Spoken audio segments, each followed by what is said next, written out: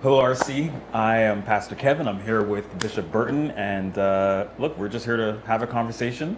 And uh, just for some context, you know, uh, Bishop and I, we talk uh, at least once a week.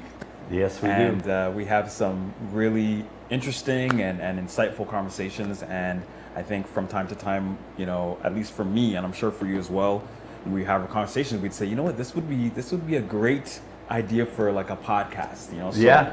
So basically, what we're doing is we're going to just you know let you in on our conversation, uh, and and and we want to talk about just uh, some of the history in the 21 years you've been pastoring, where we've come from, where we are today, and where we're, where we're Right, going. right. Yeah. Yes, Yeah. and you've been certainly a, a, a great part of that because you were born and raised here, right? Yes. Yes. Born Yeah. and raised here, and um, you know. I mean, actually, born and raised here in this church, not Yes. just in Yes. Canada or in Quebec, Yes. but in this church. Yes, in this congregation. And your uh, parents are still part of our congregation. Yeah. Yeah. Yeah. Yeah. So you you and First Lady have been pastoring for 21 years. So let's go back to let's go back to the beginning. We've been pastoring here 21 years. Yeah. We've been pastoring Yes. more years than that because we were pastoring before we came Yes. here. Yes. So, Well- so maybe talk a bit about that. What what was what was your your pastoral experience prior to coming to RC? Well, I've always been involved in ministry, as most people would know. My wife grew up in a, as a PK, so her, her dad and mom was in ministry uh, all their lives. And my wife, I think, was her first sermon she ever preached. She was five years old, and and I yeah maybe something like that. Very young anyway, even if Okay. it wasn't five. Um, it was she was very young, and some maybe it was eight, and somebody actually gave their heart to the Lord in her in her sermon. Wow. But you know, so she's been involved in ministry all of her life. Uh, I grew up in a Christian home, not involved in ministry uh, officially, but even as a young boy, I was a soul winner, and I would I would witness a lot to uh, to my friends or people that I knew. So you know, back in the old church when I was growing up, um, we would invite people to the altar. We don't do that much anymore where, you know, somebody will feel like, hey, there's somebody in the back that don't know Christ. You go talk to them and invite them to come to the altar to receive Christ. That was me as a as a young boy. Uh, Did someone ins- like instruct you to do that, or this was just instinctive? It was or- instinctive, I think. Uh, it was, I've, I had a heart for for souls and people that were lost. okay. Uh, so, and I'm talking young, like, you know, 10, 11, 12. You know, I began officially like in, in ministry as a minister. I think it was 19 when I when I first started getting involved in youth pastor, uh, uh, youth ministry, I should Yeah. say. But I mean, I grew up in church, okay. so okay. You know, I know the good, the bad, and the ugly of, of church. Right. And not everything that happens in church is, is good, by the way. Yeah. Yeah. Uh, yeah. A lot of bad things can happen because wherever there's people, there's brokenness, right? Yeah. yeah. So- absolutely. Absolutely. Yeah, so long time, uh, and we've been here for 21 years. Can't believe it. It it still it still seems like we just got here. Yeah. Yeah. So, and I think that's a huge testimony to the people that God allows us to pastor and to work with. It's because of people like you why we have stayed 21 years. Amen. Yeah. Thank you, thank you. You know, I, we had we had a conversation like this last year when we celebrated your, uh, you First Lady's 20th anniversary pastoring RC. Right. And one of the questions I asked, you know, for those those of you who missed it, was, you know, studies show that pastors don't tend to stay very long at Yeah. a church.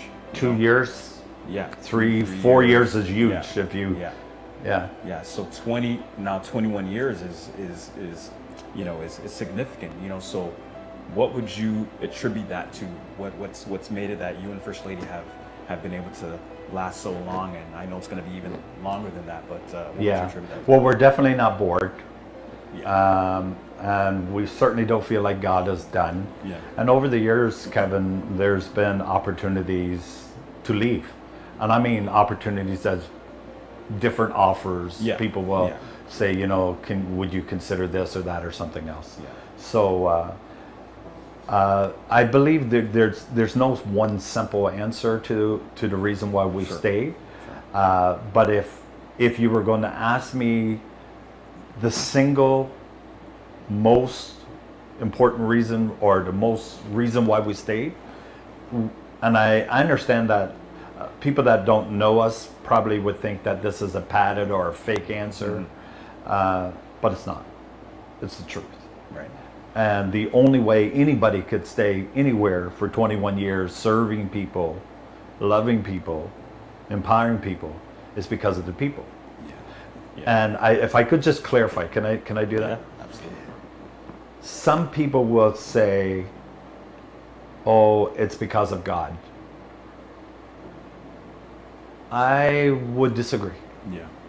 Ultimately, God is in control of everything, Yeah. but God gives people a free will. People have choices. Or- Yeah. Correct. People have choices, right? So the only reason we could last is not if it's God's will or not. The only reason why we could last is because the, the people that God has surrounded us with over the years. And understand, all the people we started out with, some of them are no longer with us. Yeah. But they still played such an important part of our lives. And Even if it was just for a period.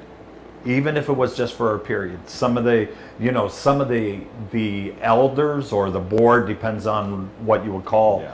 uh, that started out with us that was key in getting us to come here Yeah. uh, they didn't stay with us Okay. so but these some of these people all of these people are incredibly incredibly gifted people and they are uh, key reasons for us not to just be here but the reason why we stayed because in the in those moments they loved us cared for us and i believe still do. Yeah. you know Yeah. but some relationships are not long-term relationships. I, I really believe in in not all relationships are seasonal but i do believe that there are god will bring certain people into your life for certain seasons. Mm-hmm. And when that season is done it's not that you don't speak to them anymore that you know you had a problem.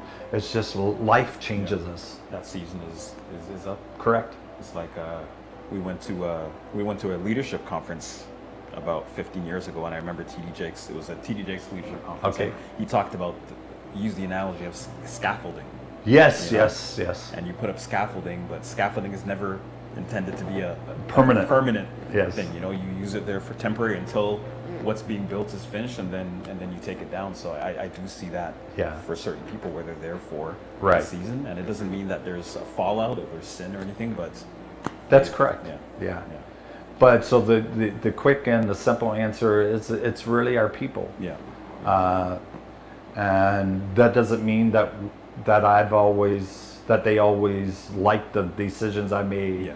I don't always like our people's behaviors, yeah, yeah. but being called to a people rather than a, just appointed by a man to a people, mm-hmm. it's a it's huge. And I, Glennis and I speak for both of us, but we feel called mm-hmm. to this people, yeah, not to a location. yeah, It's a big difference. yeah, What this is, the location is not the people that we're called to. yeah, We're called to the to the people, and this can move. We can move anywhere, as you know. Over the years, we've moved a lot. Yeah. Remember back in the day when we couldn't find a building, Yes. people would say, "Hey, the Resurrection Center is a great place to go if you can find them," yeah. because we would move from one place to the next place. to school, yes. Oh man, we don't we don't regret that. I remember the days you had to go there like six o'clock in the morning, Set up. doing the setup, up. pulling out speakers. Yeah. Even the organ guys, even the organ, like we had to move the organ, all the, the keys. wheels to Yeah, roll it out, and Key, I mean, uh, the sound board, this huge, massive Yeah. board. It's not like these little digital boards we had today. Brother Louis was so so faithful, and Yes. and then we do two services, right? Yeah. Remember two Yeah. services. So then we would have to stay after the service to to clean up. take everything down. Hey, Put it away. Thank you, Jesus, for for for coming through for us and giving us this incredible building. Yeah. Because even with all the difficulties of having an older building, this mm-hmm. building is such a gift from God. It is. It is. It is. Yeah. So I want to I want to go back to to the beginning of pastoring here at RC, formerly called Montreal West Church of God, now Resurrection Center. You're starting out Yes. pastoring a new church 21 years ago. Yes. If you could give that Bishop Burton Hey. advice, Yes. what would what would it be? Or you could even look at it like someone who is starting ministry now. You know? I got it. Yeah. Yes. This is what I would tell the 21 year old, or go back 21 year old to 21 years ago to Dave. I would tell Dave, I would tell him this make your wife priority number one Okay. after God. Okay. Because I've not always done that. Right. Right. So n- now I, I think I, I'm, I'm doing a better job. Well, she, she didn't leave me, so so I must be doing a better job because I think if I look back over my life, I think I probably have given her plenty of reasons to leave, and and it's not because I was immoral. Right. Do you understand that? Yeah. Because a lot of times people think, "Oh, he must have cheated on her to make statements like." I Yeah. never, I never cheated on my wife with another woman other than the bride called the church. Right. I cheated on my wife with the church because my church, the church, at times in my life was the priority, and not my wife. Yeah. It's God first, our families, uh, and I believe family would be my wife a second. Even I mean, after after God, it's my wife, not my children. It's my wife. Yeah. Okay, so God, uh, my wife, family, and then ministry. But a lots of times in my immaturity, and I'm still very immature, by the way, Yeah. uh, and I still got a lot of growing to do. I make a lot of mistakes. So do I. Oh, So do I. Jesus, help me. Thank you. Uh, aren't you grateful for forgiveness Yes. and God's grace? Yes. So anyway, that would be that would be the, if I was going to tell that person, you know, I would tell the younger Dave, don't be an idiot. People are going to leave you. There's only one person that should never leave, and that's the person that I committed my life to. Yeah. Uh, and I'm not talking about Jesus when I say that, by the way. We know that. We know that Jesus is never going to leave us. But I need, I, you need to make your wife priority because Kevin, oh man, nobody told me, and they're probably, you guys are probably going to laugh at this, but nobody told me my kids were going to leave. Okay. So Glennis and I were raising our children like they were permanent children. Right. Does that make sense? Yeah, yeah. Because nobody told us that they were going to leave. So every conversation, every vacation, all we did in our lives when our kids were smaller surrounded our children mm-hmm. As a family. We never realized, and I, everybody should know that the kids are going to grow up. In fact, mm. you probably pray that your kids are growing up, right? Yeah. But if you invest your time, effort, money around the children, the day will come, and this is what happened to us. The children left, and we're like, hey, who are you? I don't even know you. So for 19 years, everything was surrounding the children. So Yeah. even though we did some some uh, date nights for her and I, it never clicked that we I need to be intentional about developing a relationship with my wife not centered around the kids. If we went on a date night together, we talked about the kids. Yeah. Yeah. Everything was about the kids. Yeah. So what happened is we weren't building our life together, we were building our lives around our children. Okay. Does that make does Yeah. that make sense? Yeah. And uh, so definitely, that's that's something that uh, people need to realize. Yeah. Your children are going to leave. Now, our kids are still in our lives, very active in our lives, and I learned this from my wife. She came. This is not my terms. This is hers. That you never stop parenting. You just parent different. Yes. yes. Right? Yeah. So I don't know who to give the credit to. I just heard my wife say that. I don't know if somebody else said that that she heard, but definitely that is an absolute fact. Yeah, We never stop parenting. We just parent different. Yeah. So, but not recognizing that these things are going to change. When they do leave, when that transition happens, you got to start. Like we actually had to start over again, in order for us to survive. Mm-hmm. 32 years now, we actually had to be intentional about. Oh, okay. If we're going to stay together, we're going to like to have to start dating again, getting to know each other again likes, dislikes. Even though, I mean, hey, we were in the same house, we were loving each other, we were sleeping with each other, you know, all of that stuff. Yeah. It's just when kids leave home, the whole dynamics change again. Yeah, for sure. For sure. Yeah. For sure. So when your kids leave, I don't want to hear that you guys have a problem because I'm telling you in advance. Right. No, I hear you. I hear you. And, and I agree. I mean, I, I actually I tell my kids, you know, when, when we sit down for dinner, I tell them, you know, guys, my kids, as you know, are, are young adults Yeah. now. Yeah. And you know, I tell them like us sitting down as a family together. This this is this is just for a season. You know, It's just for a This is- season. You're gonna be you're gonna have your own families. You know, but this is a small period in our lives where Yes. we where we do this together. So I realize the same thing that even with my wife Jody and I that that we have to we have to prioritize our relationship Right. outside of our kids. Yes. You know, especially when they're young and there's so much to be consumed with regarding kids and school and responsibilities that it's it's if, if you're not careful it, you can be it can be so easy to neglect your relationship and then when they leave then it's like what do- what do you have left you know um, so let me ask you so so you you you you, talk, you talked about some of the adjustments that you that you made you know with first lady in terms of you know uh, starting over and whatnot but in, in terms of like because you know as a senior pastor there's a lot on your plate you know you have a lot of responsibilities yeah. right and it's not in case people thought otherwise it's not a nine to five job you know Definitely not. it's probably closer to a 24-7 than a 9 to 9 to Abs- 5 you know? absolutely. So how- absolutely. Even though I'm not working 24 Yeah, 7. yeah, yeah. Uh, yeah, definitely. So how did you, how were you able to navigate that in terms of still prioritizing ministry, but also at the same time, as you said earlier, making sure that you know your wife is number one. Yeah.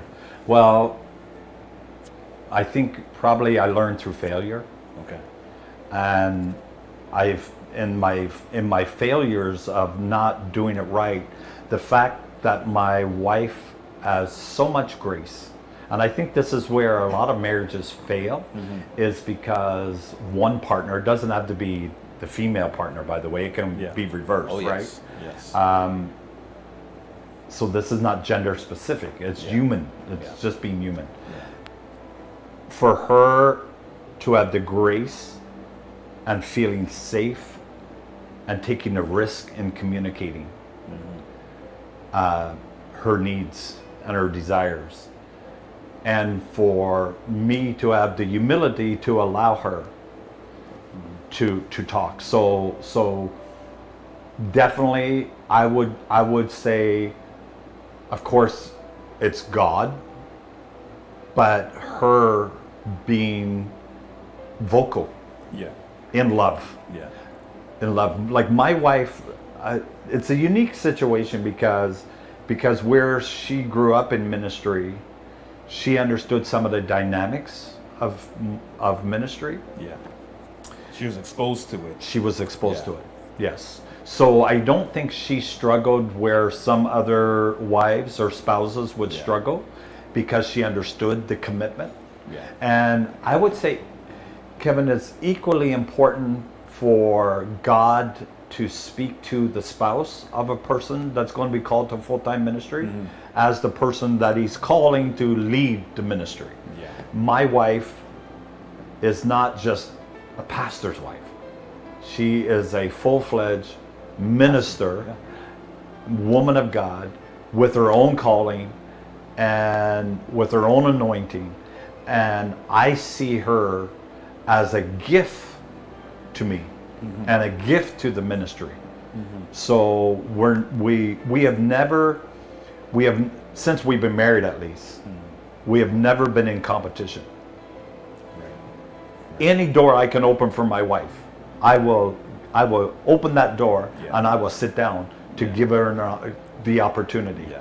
And I'll give you a, an example. Recently, we were at a conference and uh, it was it's a fairly large church, and the pastor asked me uh, because we were going to stay over on the Sunday, and he asked me. He said, "Can you or your wife speak for us on Sunday morning?" And first of all, that is an incredible man of God that he would respect uh, a female because in ministry today there, there's a lot of problems Yeah. Okay so man i was just so honored by his character and his willingness to recognize the gift and the calling mm-hmm. not just on like glennis burton mm-hmm. but on a female Right. because there's a lot of problems Yeah.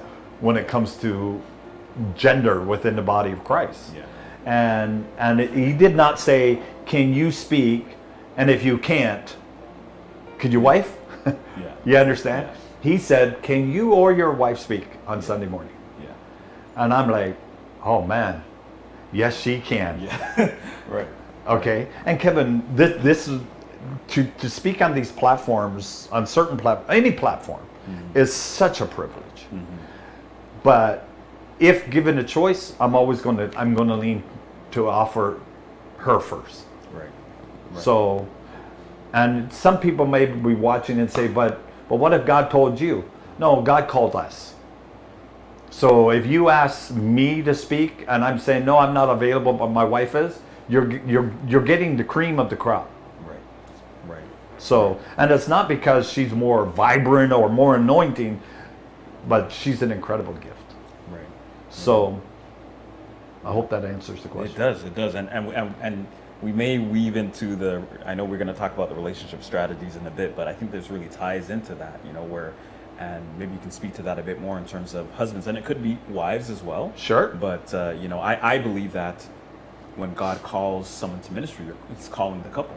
You know. Oh, absolutely. It's- If not, good luck with that marriage or Yeah. that relationship. Yeah. It's probably not going to last. Yeah. That's why if somebody is watching and you feel called to ministry, even if, if you're single and you're not married and you feel called to ministry, man, the pressure that you and the the the opportunity you have to be successful will be will come from who it is that you connect with. Mm-hmm. So if you feel called to ministry, you just in choosing a partner, you better make sure that that's the partner for you Yeah. because I can't be called to ministry and you're not. You mm-hmm. know, Glennis doesn't fight with me because I work 18 hours before I go home mm-hmm. or 14 hours. She, some Saturdays, she will ask me, "Hey, how's what's going on for Sunday? Are you ready?" She asks me a lot. "Hey, you ready to speak on Sunday?" Yeah. And the answer is almost always the same. No, I'm not ready Okay. because I, I I never feel really ready, and I understand that some guys may disagree with that. That Yeah. you know, but man, I don't. I never feel ready. So so she understands because she understands the dynamic of ministry. If I got to work on a Saturday, she don't get mad. Mm-hmm. She don't get frustrated. We don't fight over because you know I've got responsibilities. Mm-hmm. She understands. But if she wasn't a speaker, if she never understood what it means to prepare a sermon, Yeah. man, it'd be. It, you know what, guys? It, it would be. It would suck to be married to me. It, it's not fun because you got to spend a lot of time alone Yeah. without your spouse. Yeah. So, you know, that's why I think friendships are so important. Yeah. Yeah. But the enemy tries to keep us away from friends too. okay. So, Okay. so choose choose wisely. If you feel called to ministry, make sure that you take your time in choosing a partner, and make sure that they're called. Yeah, and I, I would imagine it's important to have that conversation. You know, if you see someone that is there's a potential that we can you know share a life together to say, hey, you know, I just want to let you know that this is this is what God is calling me to. You know. Cause a lot of problems if they don't know Yeah. and they get blindsided by this. Yeah. You know. Yeah. And if somebody tells you, if you're if you're dating somebody and they they start telling you, I don't ever want to be a pastor's wife. I'm not, you know, I'm never going to be involved in ministry. No, you should probably reconsider. Take it serious, mm-hmm. because you know, if somebody's telling you they don't want something and you feel called to that, you know, if you're going to be an entrepreneur, but somebody you're married somebody don't don't like risk, it's going to create a lot of friction in your home. Yeah, yeah. So let me ask you this. So I don't think I've ever asked you this, even privately. Mm-hmm. When you sensed God's call to be a pastor, Yeah. was was this before First Lady, while you're with her, and and if so, did did she hear that call simultaneously? Like how, how did that how did that unfold?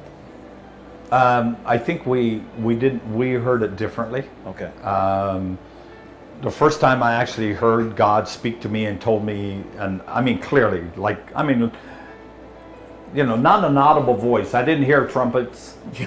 You know, I wasn't. I wasn't that good. I wasn't that good. So, but the first time I heard God call me, I was 12, coming home from a youth retreat. right. and uh, for her you you could probably ask her but she was she was very young also and growing up in ministry you know she it was easy for her to to flow in ministry because she grew up in ministry and she was also called and anointed i can't tell you about her call and what you know i can tell you about her gifts Yeah. but i she wouldn't need to answer those questions Okay. Okay.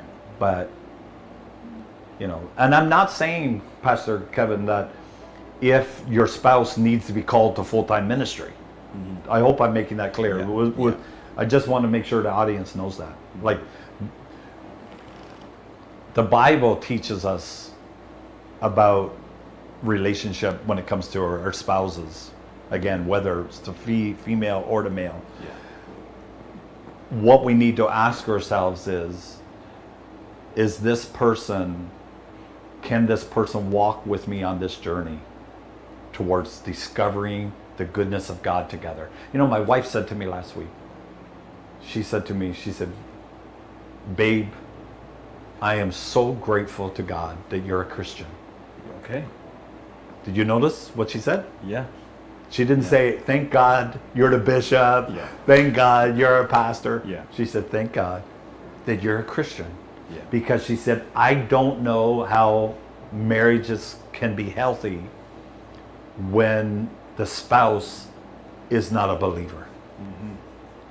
And before I'm a minister, before I desire to be in a pulpit, I just want to be a Christian, Kevin.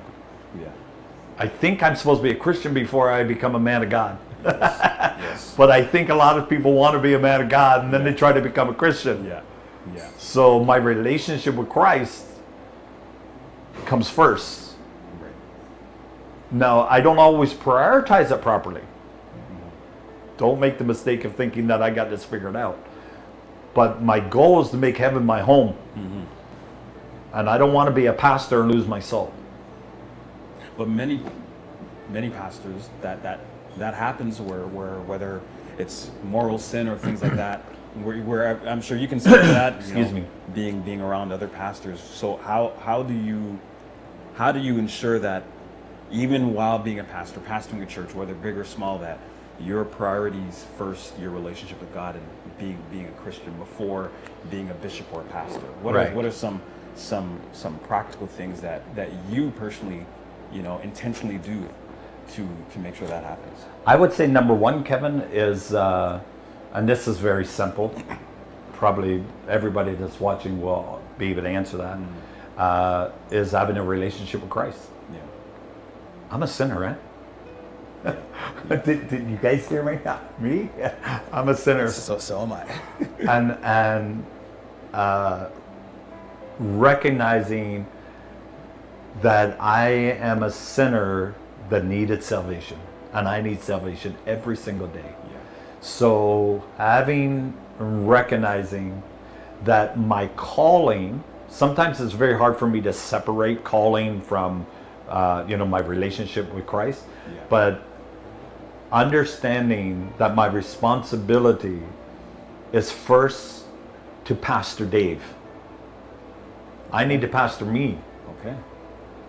The hardest person in the world to lead is yourself. Yeah. is right here. Yeah. Yeah. Do you know uh, it's so he- easy for a person, it's easy for me to hate myself, dislike myself, but still try to pastor you. Yeah. And I think that's so broken and messed up. If I can't lead myself, why should I even expect you to lead, follow me? I need to lead myself. So, having a healthy relationship with Christ first, I believe. Uh, however, because of the way God wired me, and you know, I, I listen to guys like T.D. Jakes talk about, you know, having this intimate relationship with Christ outside of the ministry, outside of, Yeah. and uh, outside of who they are as Bishop T.D. Jakes or mm-hmm. whoever it is that you know you follow Yeah. Um, sometimes I have a hard time separating the two. Okay? Sometimes because it's so much part of who I am. And I haven't discovered how to do that yet. Mm-hmm. And I I want to experience what I hear some other men of God talk about with with regards to having this intimate relationship with Christ. But I, I don't think I've figured it out yet. Okay. Outside the context of of Of- full time ministry. Yeah, full time ministry. Okay. Okay. because but I am concerned about that. I'm very concerned because oh, here's here's what I'm learning. A lot of my self-worth comes from my title. In fact, a lot of benefits that come into our lives come not because of David Burton. It comes because I'm bishop. You can almost erase Dave Burton. Mm-hmm. It come a lot of the the gifts and the benefits and the blessings that I receive comes because of my position, not because of David Burton. Which is a prob it's very problematic because the bishop is going to disappear. Mm-hmm. Okay, Me- the calling is not because the calling don't disappear, but my position is going to change. Yeah. I am not going to be the lead pastor of the Resurrection Center, unless I mean, if if Christ should tarry. Right. You understand? I'm going to transition, and if my identity is all about my position as bishop, if you remove that, I'm going to lose myself. Yeah. So I'm trying to find ways to discover Dave Burton, not Bishop. Mm-hmm. Because I need to survive after you're not here. Yeah. Yeah. Because, and I, I understand this is not a blanket statement, but most people in my life, people that love me dearly, and it's genuine love, huh? it's not fake.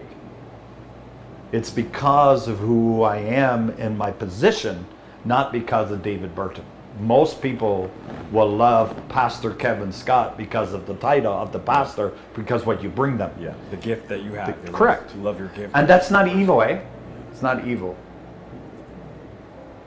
That's just humanity. yeah. That's natural. It's human natural. behavior. Yes. Yeah. So so you're making the distinction between your self worth as a as a as a byproduct of what you do versus who you are in Christ. Yes. And I and I find I- I'll speak as a man. I imagine to, to agree for women as well, but for as men, you know, we we tend to we tend to uh, define our self worth based on our performance. Oh, what- yes. What, we do. You Yes. Know? And then, like you said, when when that stops, so you remove that, then what are we left with? You know. You know, actually, I had I had a similar, you know, uh, for those of you who weren't aware, I, I I served as worship pastor. For And you did a great job, by the way. Praise the Lord, thank you. You know, when I when I when I when we tra- when we transitioned, I transitioned out of that into uh, more of a pastoral role. You know, I went through a period where I was I went through depression. So I was like, I, this is all I knew. Yeah. you know and I, and I kind of merged that into what I did as a worship pastor into this is who I am and so when that it was almost like a it was almost like a part of me died Yeah. you know so it was like Yeah. So But when that- part of you did yeah yeah because that's a loss. yeah And and oftentimes we try to we think transitions and doing things is not a loss. You need to Mm-hmm. recognize, you know, which is not your case. You weren't fired, but there's somebody watching that probably lost their job last Yeah. week. Like that's very traumatic. Yeah. It's trauma. It's a loss. It's a death. Yeah. So you got to learn to be able to walk through that grieving process. Yeah. And uh, I, I hear you. Yeah, and I guess the way, the, the, the healthy way to go through that, because like you said, those things happen, right? You They can't, do happen. You can't through life that's going to happen, but I guess the way to go through that is is underneath that the foundation is okay. Well, this is this is not who I am. Being Yeah. a worship pastor is not who I am. It's what I did, Yes. but who I am is a child of God. Amen. So I, ha- I so I now have to always go back to that Yes. fundamental principle, revelation based on the Word of God. That Yes. I'm a child of God first. Yes. Before I'm a husband, before I'm a father or anything else, before what I'm doing now as an elder, as a leader, is I'm a child of God. you know? Absolutely. Because it, it's so easy, and, I, and we talk about this a lot in our conversations. Is man, insecurity is is is is such a tool of the enemy.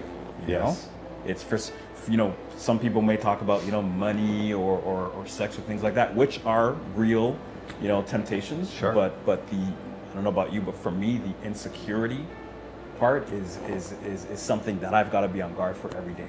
You know, because the enemy can use that and, and just attack my own self worth. You know. I was having a conversation with somebody earlier this morning, and in that conversation, I remember telling them this. I believe even the most secure person has insecurities. Yeah. Yeah. Every person has some insecurities. You, it's different levels of insecurity. Yeah. Okay, but I think all of us have insecurities. Yeah. So acknowledging and recognizing what makes us insecure is part of the process of being delivered from that insecurity. Mm-hmm. Because I know I have a lot of insecurities, but I'm not going to let my insecurities rule my life, Yeah. right? So it's not it's not so much to not have insecurities, because that might not be reasonable, but it's Correct. to be aware of what they are. Yes. And to be able to manage, Manage. and know. I think Yes. I think also know what what what may trigger those Yes. insecurities. Yes. You know. Um, yes. I want to I want to get back to before we move on to going back to the beginning and and pastoring the Resurrection Center. You know, you've you've told this story many times, but just for for the viewers, you know, the vision that God gave you. Mm-hmm. You know, can you talk about how that came to be? How Yeah. God gave you the vision that that that He gave you for for this church. Yeah. Well, before I ever knew there was even a Montreal West Church of God, which was the name of our Yeah. former church, Yeah. before I met anybody from here, one day I was driving through through a community, uh, working. I was working at that time, and um, I heard the Lord say, um, "One day I'm going to raise up a church through you. I'm going to use you to raise up a church, and I'm, I want you to call it the Resurrection Center." Okay. Yeah. So this before you even knew about Before, before, be- before, before any of this. Okay. Before I ever met you, Okay. before I ever came to Montreal, Okay. I had no idea. You didn't tell me in Montreal Yeah. at this location. Yeah. None of that. You just said, "I'm one day One I'm going to raise up Okay. a ministry, and I want you to call it the Resurrection Center, Okay. where dead dreams live again." Okay. Okay. So what did at that? What did you do with that? Put it in the back of my head. And say, "Okay." At that time, were you were you pastoring somewhere else at, at that time? Were you? I was working in a church Okay. uh, with with Pastor Regan uh, Okay. at that in that time. Okay. uh, serving. My life has always been about serving. Okay. Yeah. So, yeah. Yes. Okay. So my life has always been about serving. So God said, I I'm going to raise it up. I want you to call it the Resurrection Center. Okay. Okay. And uh, and you know, when God gives you a word, something He doesn't. He, he's never told me timing. Huh? Like when God tells me something, you don't say, "In two years from now, this is going to happen." Yeah. I received the word, I put it in my spirit, and I leave it. And I continue to work. Yeah. I don't go out looking for a building, I don't go start a ministry. Yeah. I continue to serve. Yeah. You don't drop everything. No, no, no, no. Yeah. You get you in a lot of trouble. Yeah. If if you're going to run your life on prophetic words, hey, you're going to have a difficult life. Yeah. Because everybody, you know, depending on the the people that's around you, almost everybody got a prophetic word for you. Right. Right. So I don't I don't move on prophetic words. Mm-hmm. I receive prophetic, words, but I don't take actions based on prophetic words unless it's a confirmation of something that God is telling me and there's a specific instruction in the prophetic word. Okay. Okay. That's a whole nother Yes. thing. Prophetic Yes. words. Yes, yes. Yes. So you so you get the vision from God. Yeah. I'm gonna raise up a church through you. You're gonna call it the Resurrection Center where dead Yes. dreams live again. And I go back serving Yeah. to Pastor Riggin. You it away, said thank you. Yes. Okay. Yes. And then at some point, and I know this is not the next day, but Yeah, after a while, Yes. You- So what happens is, uh, you know, we've been serving with Pastor Riggin, and he feels he feels that it's time that God wants to open a door for us to go into full time ministry. okay. So, uh, and there was some things going on here, and they called um, the overseer, the national moderator for Canada, was contacted and said, "Hey, Montreal West Church of God needs uh, somebody to speak on Mother's Day uh, because there was some situation they had no pastor." So um, he called Pastor Regan and said, Pastor Regan, do you think Dave would go to Montreal and speak for the weekend? So he called me and he said, uh, Hey, Dave, can would you you want to go to Montreal to speak at this church? I'm like, Montreal? Can you send me to Africa first? Or, you know, who, who, who in their right mind wants to go to Montreal Right. Right. uh, at that point? Because I never, I had no desire to go to Montreal. yeah. Yeah. So, you know, all I thought of Montreal was I don't speak French. Right. Why would it, why would I go to Montreal? Yeah. Because anyway, so I I said, yeah. And he said you probably he said you should go. And at that time I was I thought we were actually going to move to the US. Okay. Uh, and we were being I guess interviewed if that's I, I don't know yeah, interviewed, considered maybe. We were being considered for a church in the U.S., and uh, that's where I thought we would end up. Okay. So we came here for the weekend. It was Mother's Day. Can you go down and preach for the weekend? I came down, spoke for the weekend. You know, had a great time. Uh, met you guys, a lot younger you, Yes. and uh, 19 year old me. yeah. You know, then uh, the overseer for Quebec Maritimes called and said, you know, do you think you could come back next week? And we're like, okay. So remember, we're we're we're working with Pastor Regan. Plus, we're both working full time jobs. Right. So we would make the seven hour trip to Montreal. We stay. We were having Sunday evening service. Yeah. So you know, uh, we were having church, right? Yeah. So it's not like, oh, okay, you do an hour service and you're out of there. You know, 10, 11 o'clock at night, we would put our kids back in the car, Yeah. drive back six, seven, hou- seven hours, seven plus hours sometimes, uh, back down to Ontario, Kitchener, and and uh, I would shower and go to work. Okay. Yeah, Back Monday morning. Just back Monday morning. Okay. I had a job. Okay. They didn't care about ministry. I had a job. Yeah. and that job was putting food on my table. Yeah. So I, we would do that, and then long short, long story short, uh, they kept asking us, you guys, the elder board at that point kept asking us to come back. Yeah. So we came six weeks in a row.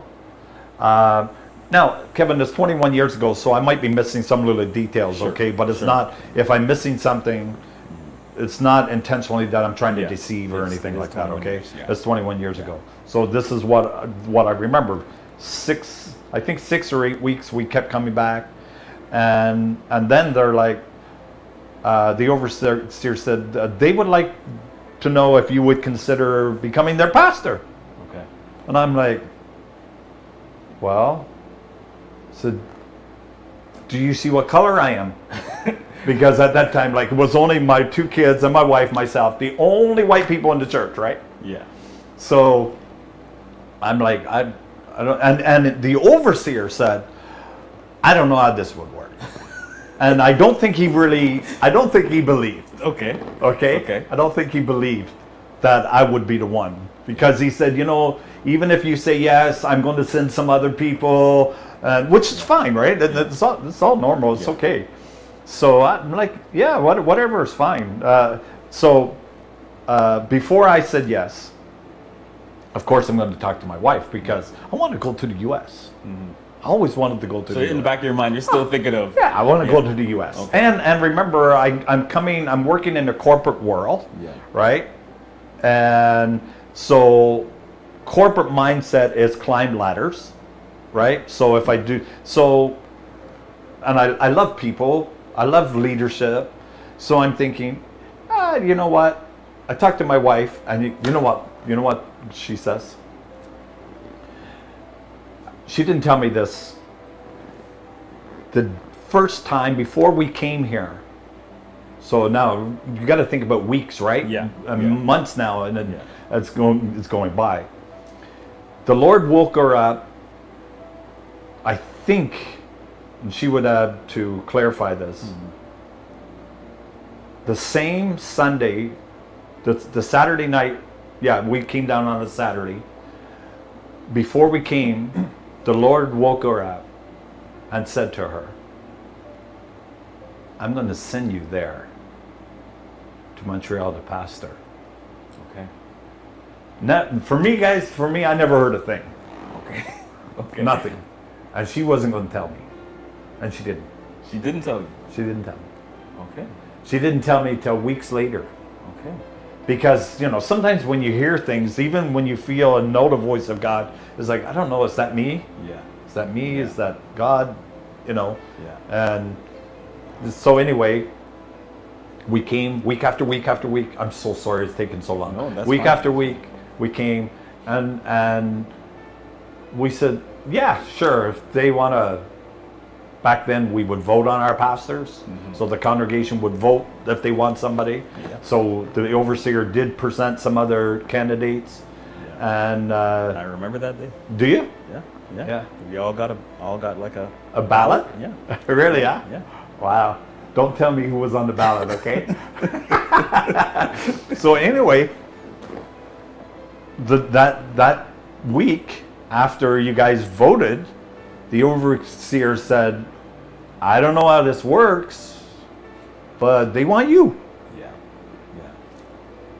And so that means a career change basically because, you know, for you that it might be boring for some people to hear this because they've heard me say this before. I never wanted to be in full time ministry. Okay. And I know, I know, I know, guys, I know. I, I get it. I, if I heard a pastor say that, I'd be challenged too. I didn't want to be in full time ministry, Pastor Kevin, because I was afraid. Okay. because most of my reference points for full-time ministry is their life is miserable they are very unhappy yeah. and they were very poor Mm-hmm. and i don't want to be poor so so but that was my example now not not pastor regan okay but pastor regan has been doing that for 40 plus years right Yeah. But my reference points of even growing up, I was always around pastors, pastors' children, and pastors were not happy. Mm-hmm. They were very. I even I wasn't grow. I didn't grow up in the home. I could hear arguments because I had friends between husbands and wives. I was like, wow, that's really weird mm-hmm. because I saw them live a life. I see them in the pulpit, but I saw their life, and I thought doesn't weird. Yeah. You know. Yeah. So, so even though I felt called, I thought, God, I'm going to do both, Yeah. right? And you know, us men, we love to figure things out. So, I will do this, God. I will answer your call. I'll I'll do whatever you ask me to do, but I'm going to do both Okay. because I thought I was smart enough to do both. Right. Right. So when when that happened, uh, we we didn't just take a big step of faith. Yeah. We did a leap. Oh yeah. Oh yeah. I moved my family here, two children, Sold your house. Sold my packed all your house. I had no backup plan. And now at 55 years old, like I have zero backup plan. Even less so than, than Even that. less. Well, when I came here, I was 32 or 33, something like that. Yeah. You know, so so I think I turned turned 33 here, if I remember correctly. But anyway, that don't matter. So, you know, back then, and when I came here, I hope people don't leave the church. Even because I was leaving corporate world to come and do this, I'm thinking, yeah, I'll probably become an overseer. And you know, I remember in my interview when I was joining the Church of God, somebody asked me, "Well, what would you like to do with the church within the Church of God?" And I said, uh, "Oh, I'd like to become the general overseer of the Church of God International." Okay. And he laughed at me so hard. He said, "You, you're Canadian. You're never. You're not going to be. That's, that's not gonna happen. That's not going to happen." right. So, but that was my mindset. So I figured, ah, I come here, uh, maybe you know, pastor this church maybe for a few years, and then I'll just I'll just do something different. You know, there's lots of things to do. There's in ministry, there's so many needs that people have, and you know, so I I, I, I didn't come here and with the intention that I'd be here 20 plus years. I didn't have the maturity level to think that far ahead. Okay. Okay. So I came here because that was the next step. But God did something supernatural. Wow. Yeah, He definitely did something supernatural, natural. And after a few years, Kevin, all my corporate mindset, and this is very important for people to know, especially if there's a pastor that's watching this. All my corporate mindset, it wasn't that it's not fruitful. It helped me. It helped me a whole lot. But God had to remove it. Okay. About it was no longer about next steps. My desire to become anything other than the man of God that God called me to be. I he removed all that desire to climb the corporate ladder, to become an overseer, to I don't What- care about those Was things. that a was that a painful process? With like, how did that how did that un- unfold? You know what? I, I God is so good to me it wasn't painful. Okay. And do you know why? Because he made me fall in love with his people. Okay. Okay. You know, when when God when your heart changes, it's not hard. I hear people talk about it all the time. Oh, people in the church, this, this, this. I'm like, I don't know what you're talking about. Because it's not hard to work with people when you love them. Yeah. Even broken people, even messed up people. Yeah. Yeah. when you love them you know imagine if if you threatened or decided to leave jody every time you had a problem. You're you could not have a healthy That's relationship not healthy. That's not healthy. yeah And like you said, it takes the right godly heart to be able to see. It's not that there's not behaviors or things like that, but you mistakes, but you but you see beyond that. And you see You- yeah. you see them as God's people. As god's people and the lord taught me many many years ago these people are not yours Yeah. because sometimes we pastors i think we see the people as ours Yeah. and when you see anything as yours you think you're the owner Yeah. Yeah. And when you when you see yourself as the owner, this happens in finances, it happens in companies. When you see yourself as you're the owner, you feel like you have a right to abuse mm-hmm. or misuse mm-hmm. because it's yours. But if I lo- if you borrow if I borrow your car, I'm going to treat your car better Yeah. than I treat my own. Yeah. Well, I can I can speak to that because I have borrowed your car, and and I and I and I and yeah, I treat it better than my own because Yeah, because you have a sense of responsibility. You need to return this car back to the, the owner. yeah Now, I see the church as God's church. He's put me as a shepherd, and I got to present the church, mm-hmm. God's people.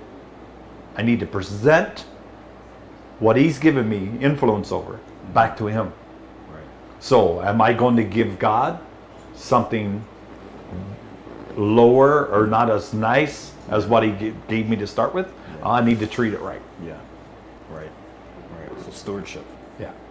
So, but it doesn't mean that I I don't get frustrated or anything. Mm-hmm. Sometimes, and it doesn't mean that I never misuse the gifts, mm-hmm. because I'm still human, and my heart is still deceptive, and who can know it? Right. So I got to keep my heart before the throne of God. Right, right. So you know, I mean, not only in this interview, but throughout uh, throughout the time I've known you, you've, you've really you and First Lady have always been consistent in terms of talking about the people and how much you love the people. Would you say when you because I mean you're, you're, you're you you talked about your reference points growing up watching pastors, so you, so you're my reference point when it comes to Right. pastoring. Um, is that would you say that's the norm? Do you see that with other pastors in terms of that love for people? I, I, I- would think not, but but I don't want to make that a, that assumption. Is that is that is that so Yeah. so? Do you know? You know, that's Kevin. something that pastors struggle with. In your You know. I, I believe, and I could be wrong, okay, but I believe many pastors struggle because some people are not nice. yeah, yeah, And goes- sometimes it's not the pastor. yeah, Man, people are really broken. yeah, yeah, And we pastors are broken. yeah, And if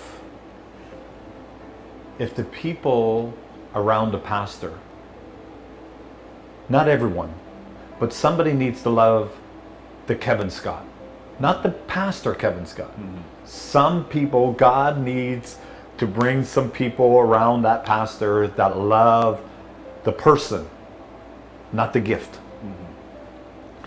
And I do believe just through God's grace and mercy and His love for us, He's given us some of that. Hmm. And sometimes it's, we're not talking 10 people. We're not talking, it doesn't need, sometimes it only takes one or two people. yeah, yeah. But these one or two people must be influential. Right. Because if you don't have any influence, the fact that you that you love the Dave Burton, not the Bishop Burton, won't matter. Mm-hmm.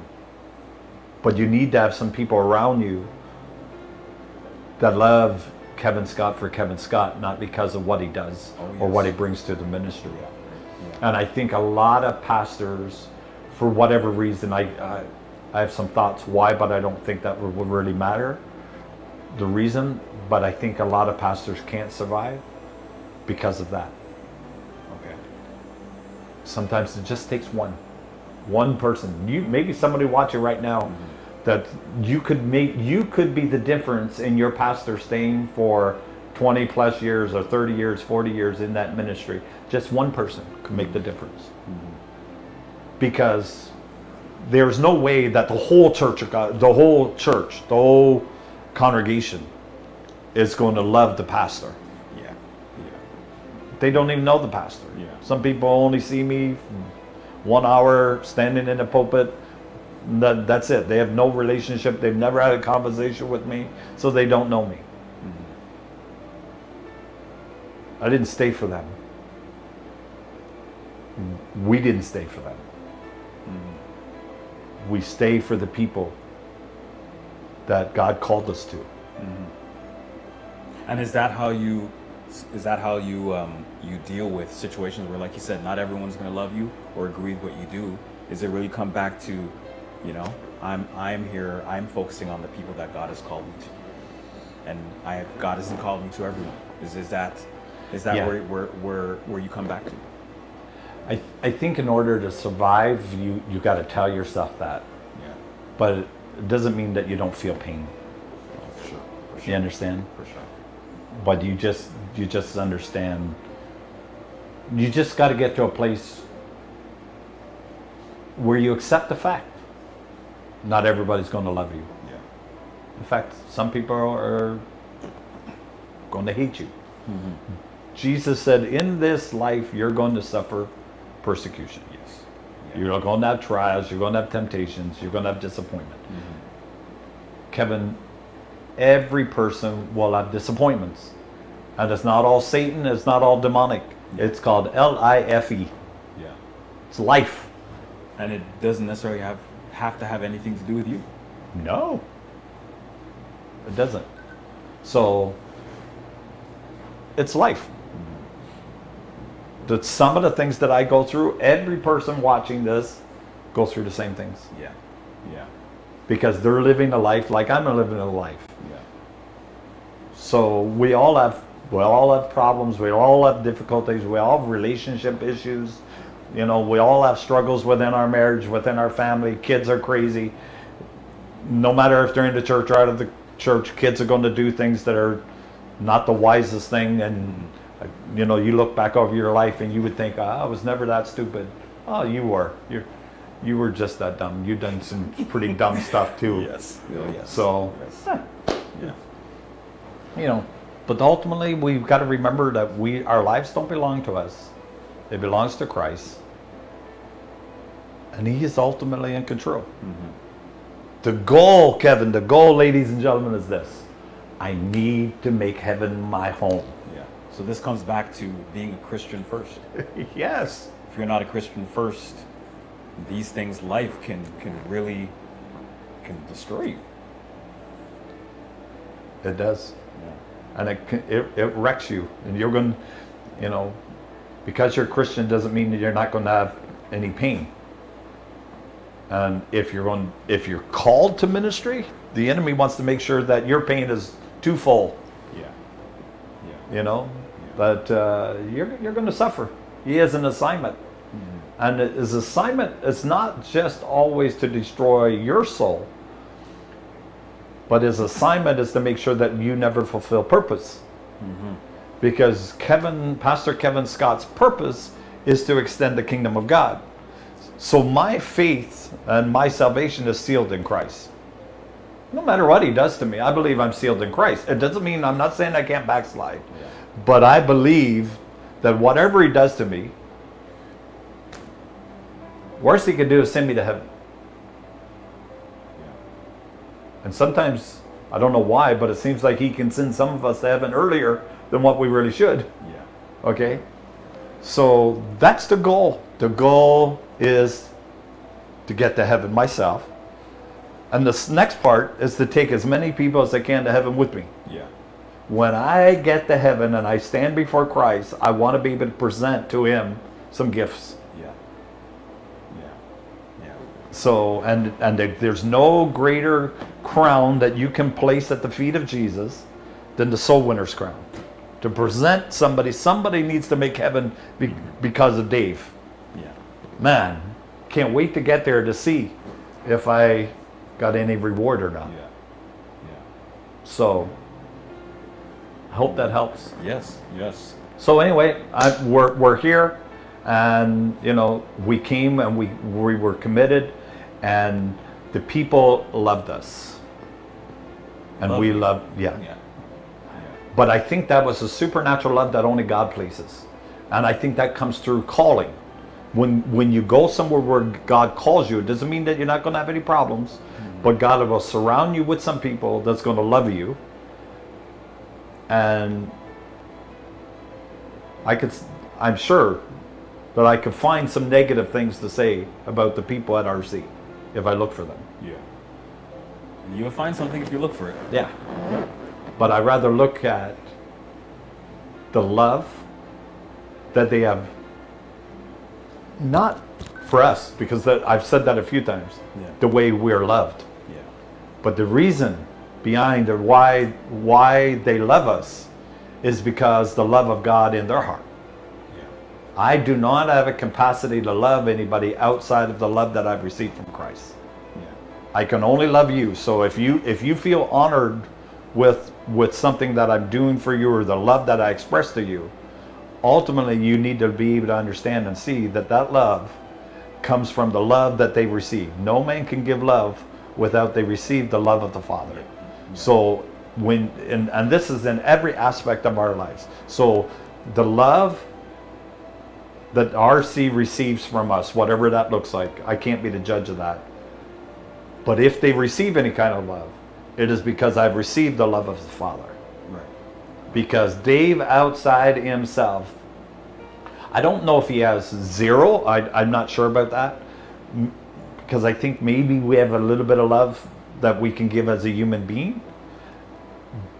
But the love that sustains, that keeps, that forgives, is, comes from the Father. Yeah. It doesn't come through the human, it comes through the Spirit. It comes through the divinity, it comes through the Holy Spirit. Yeah. And that's, and, and sometimes people won't be able to see. Sometimes I can't see that. I, ex, I, I equate the love as, oh man, Kevin really loves me. Mm.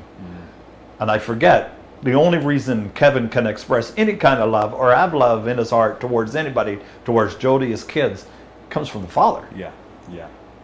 Hate comes from Satan, Yeah. Yeah. however that looks. Yeah. Amen. Wow, we can go on and on. We could. Yeah. I want to I want to transition to you know the vision that God gave you for this church and how that has unfolded to to today. You know, 21 years later. Um, but let me. I want to start with the vision God gave you, which which is which is a longer document, but really it centers around dead dreams live again. Yes. Can you can you elaborate on that? What is what does that mean? Okay, that actually came from, I think it was three or four o'clock, maybe two o'clock, I don't remember. I did record it. Yeah. Uh, that the Holy Spirit woke me up one morning. Why I was here? This didn't happen. Yeah. Why? Why I was here? Why we were going through certain transition? And he said, "Get up," and I'm like, "No, Okay. no." He said, "I want you to get up and write something." I didn't hear "Get up and write." We have a dream. Mm-hmm. I, I heard him say, "Get up. I want to. I want to talk to you." And he said, "I want you to write." So I, I wrote what he said, and of course, it stems from if you read "We Have a Dream," you you can look at. Uh, Martin Luther King's "We Have a Dream" Have a Dream speech, speech, yes, you know, and it seems similar, but uh, that's just the way God works with me. I didn't I didn't take it from there and say "Ah, I'm going to make it sound like this. Yeah. It wasn't really premeditated. That's what I heard. And through working through the document, "We Have a Dream" is what what what I called it. And then it went through. I don't know. It feels like, you know, a book of what God what I heard God say. Yeah. Um, about what he would create uh, through the Resurrection Center Yeah. Yeah. and it's quite extensive. It's on the internet if anybody wants to, to, to read it. Yes. And we have certainly tried to redefine this over Yeah. time because one thing you got to understand about having vision. We need to continue to submit the vision that God gave us to refine it. Mm-hmm. It doesn't mean that the original document is the only document. Remember, that's not the Word of God. Yeah. We don't get to change the Word of God Yeah. we can change vision we adapt to vision vision we in fact i believe it's necessary to adjust things you know so um, and we have definitely done a lot of that over the years but the core of everything has not changed i mean we don't say resurrection center where dead dreams live again and and the reason where dead dream comes uh, where dead dreams live again where that comes from is that the Lord was showing me that every person has a dream that He has placed in their heart. And most of those dreams lay dormant or they die. Yeah. Yeah. And the anointing on this house is to help people, to allow them to be empowered to cause these dreams that have died. Could be business, could be relational, it could be education. Some of us just need somebody to come alongside us to say, hey, I see this in you. Yeah. So, you know, with regards to raising up uh, a ministry, what I felt the Lord was saying, I want you to, I want to raise up a ministry that will take people from birth to the grave. Right. Okay? So give birth to, I mean, babies, babies, literally babies being Yeah. born within the ministry. And, and they don't need to leave that ministry to have their spiritual needs met. Yeah. So, you know, cause them and treat them in a manner where the purpose of God are, is fulfilled through every stage of their life till they come to the end of their lives. Right. So, so that's and you know I'm not going to get into all the different points of of the vision. Yeah. But we definitely want to be a place where people feel loved and accepted mm-hmm. and feel safe. Mm-hmm. The church, for a lot of people, is the only place where they feel love. Yeah. yeah. Even in even if they're married, sometimes even in a marriage in a relationship from family members, they don't feel love. So when people come to RC, I want them to feel love. Yeah. Yeah. The love of Christ that flows through Kevin Scott. Yeah. Yeah. I think we've even seen that throughout the pandemic. You know. Yes. Which I don't. We won't go into in depth because that's that's a whole Yes. session. And it's getting a little old now. Yeah, yeah. But I mean, what, one thing that that sh- probably it didn't show. I think we knew that, but it reinforces how important it is for the, for the for the church. Yes. That place where, for many people, it's the only place where you where you receive love. You know? It's Yeah. true. Yeah, Community. yeah, yeah. But that's the way God designed us. yeah, yeah. Yes. So, 21 years, uh, Bishop. What would you say, from just from a ministry ministry perspective as pastoring, what is what has changed from, I guess 2002 until till now? What has changed, and and uh, and just as a part B to that question, what has changed in a way that you that you would have never expected? Oh, well, definitely the one thing that have changed that I would have never expected is the importance on online, having an online presence. Oh, sure. Yeah. Yeah. Yeah. Yeah. And I mean, 21 21 years years ago, ago, yeah. I had no idea that this was going to take place. And I'm not talking about COVID. yeah. COVID just sped things up, right? Yeah. And uh, so, yeah, like the importance of online and, and the different way of ministering to people today, I think it's changed. Mm-hmm. I never, I definitely never thought that we would see a time when people didn't come to church. Mm-hmm. And again, people probably think I'm referring to COVID, but I'm not referring to COVID. No. But again, the COVID may have accelerated Correct. that, but that was Yeah. that predates COVID. Yeah. So I, I thought that, you know, believers today would always be committed to the thing that Christ died for, which was the church. Yeah. But that's what we grew up seeing. Correct. Yes. Yes. You know, So- even even myself, I mean, it was common that my friends that I went to school with, we, we went to church. Yeah. I mean, for my kids going in school now, it's it's Yeah. of their They don't see anybody from church there. No. No. Yeah. So it's very different. Yeah, yeah, yeah. And in terms, uh, you know, for, for me, one thing that I would say that has that has evolved over the 21 years is is going back to the vision in terms of the clarity.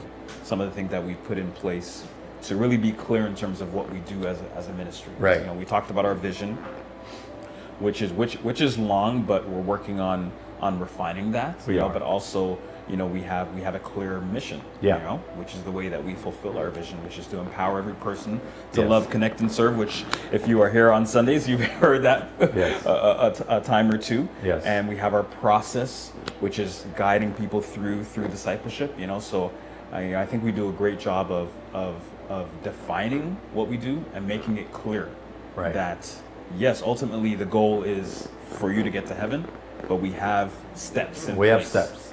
to to make that happen. Yes. You know. Yes. Definitely, Kevin. I mean, God has given us some people at RC to help us work through those things and to refine it. I'm more of a big picture guy. Yeah. I'm not. I, I can't.